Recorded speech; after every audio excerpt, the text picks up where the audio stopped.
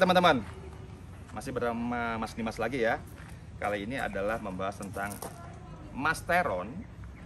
Itu ada yang bilang bahwa untuk finishing, tapi juga ada yang bilang bisa pakai untuk di awal. Dari awal. Ternyata kita itu salah orang Indonesia kebanyakan salah apa ya persepsi lah. Persepsi. Nah ternyata memang kalau orang luar tiga bulan mau tanding itu sudah ready. Udah semi ready. 12 minggu, 10 minggu tuh biasanya mereka ready. udah ready. Sedangkan kita Dari baru gemuk. dari gemuk tiga bulan atau empat bulan diet untuk lomba.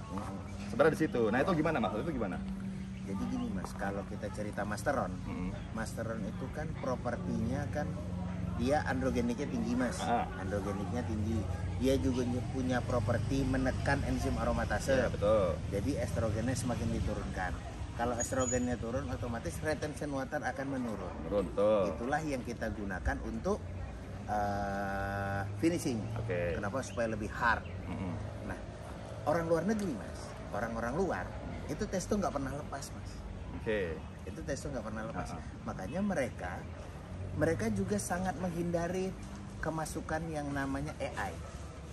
Sebisa mungkin memasukkan AI adalah suatu hal yang paling tidak sehat yang bisa anda lakukan ketika anda cycle. Nah, eh, itu adalah maksudnya kayak arimidex. Arimidex, letrozole, Ah, exemestane itu. AI. Nah, AI ini memang kita anggap sebagai pengaman mas badan Hmm. kita. Cuma memasukkan AI ini juga bukan berarti tanpa efek samping. Iya betul. Lipid profile pasti hancur, kolesterol naik, HDL turun, Hmm. LDL tinggi, dan itu worst skenario untuk Hmm. jantung. Skenario yang paling buruk untuk jantung kita. Makanya mereka sebisa mungkin bagaimana caranya mengurangi penggunaan AI iya. ada properti lain yang digunakan masteron tadilah digunakan Hmm. karena dia nggak pernah lepas testo otomatis testo kita tahu beraromatase menjadi estrogen Mm-mm. sementara kita nggak mau estrogen kita terlalu tinggi Mm-mm. digunakanlah drostanolon atau Hmm, masteron supaya si testo yang tetap digunakan tadi untuk menjaga gain massnya menjaga energi segala macam Hmm. libido segala macam supaya dia tidak banyak berubah menjadi estrogen makanya lah masteronnya yang dimasukkan Yang dimasukkan. Nah, habis itu sambil dinilai seberapa besar perubahan estrogen di badan Mas.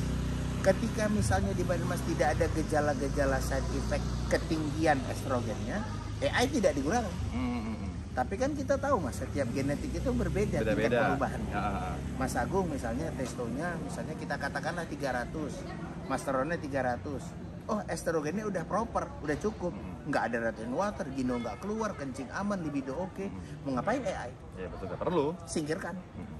di aku mungkin dengan dosis yang sama tapi aku muncul mas gejala gino Mm-mm. berarti masteronku yang 300 tadi tidak cukup untuk menekan estrogen yang bisa dihandle sama badan Nambah. tambah AI-nya. Ada dua optionnya. Bisa naikin es, ma- Masteronnya. naikin masteronnya atau tambahkan AI AI-nya. dengan dosis yang seminimal mungkin. Berarti masteron bisa digunakan dari awal Hmm. kalau memang lemak kita di bawah 10%. Iya. Kita salah Iya. persepsi. Mm-mm. Orang luar ketika bulking lemak dia sudah dijaga persentasenya. Mm-mm. Ketika diet Mm-mm. 3 bulan, Mm-mm. lemak mereka udah di bawah 10%. Udah di bawah Bagi biasanya. mereka itu adalah 3 bulan itu adalah finishing. Finishing. Hmm. Kita mulai Mulainya. dari diet Iya. dari gembul. Dari gembul. Dari gemuk. Ya. Makanya kenapa masteron tidak begitu bermanfaat banget Mm. hanya hanya untuk menurunkan estrogen aja, Iya. tidak mendapatkan untuk fungsi dari cuttingnya sendiri. nggak nggak kelihatan. Nggak kelihatan ya, ibaratnya kelihatan. gitu ya. Karena ketutupan Karena masih lemak. Mas. Nah, Ketutup betul. lemak. Jadi hardnya nggak dapat, drynya nggak dapat. Oke, jadi poinnya adalah yang pertama, ketika cutting ya kalian sudah harus posisinya 3 atau 4 bulan itu lemaknya di bawah 10%. Iya, Masuk masteron dari awal Hmm. jadi lebih cakep. lebih bagus. Karena gini mas, bulking sebenarnya. Mm-mm. Berarti kita kan harus mulai dari awal. Mm-mm. Konsep bulking itu kan sebenarnya bukan hanya fokus menaikkan kalori, Mm-mm, menaikkan betul. berat badan. Ah, ah. Kita tujuannya adalah menaikkan massa otot, ya kan? Orang kebanyakan kesalahannya bulking makan ngawur timbangan naik. Naik. Udah cukup senang. Heeh, Padahal tapi lemak naik. Padahal lemaknya naik. Masa otot belum tentu. belum tentu. Ah, Belum tentu. iya, iya. Sebenarnya kan gini mas, bulking itu kan kita makannya seperti diet, cuma jumlahnya ditambah.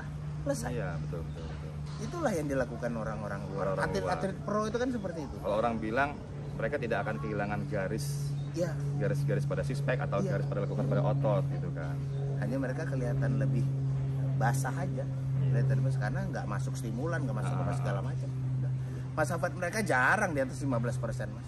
Bulking sebesar apa pun nggak akan. 15% berarti teman-teman poinnya adalah ketika kamu mulai diet 3 bulan atau 4 bulan diawali dengan bulking yang baik. Bulking yang bagus. Dengan lemak persentase yang sudah di bawah 10% lalu fase masuk ke cutting 3 atau 4 bulan akan lebih cakep. Lebih bisa gue dan gitu ya.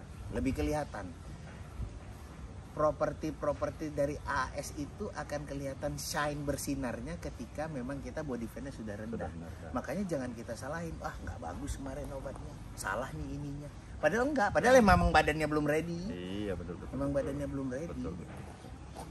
jadi gitu ya teman-teman ya semoga ini bisa bermanfaat semoga Bermanfaat. terus mengedukasi juga mas ya Ya. oke Thank you mas.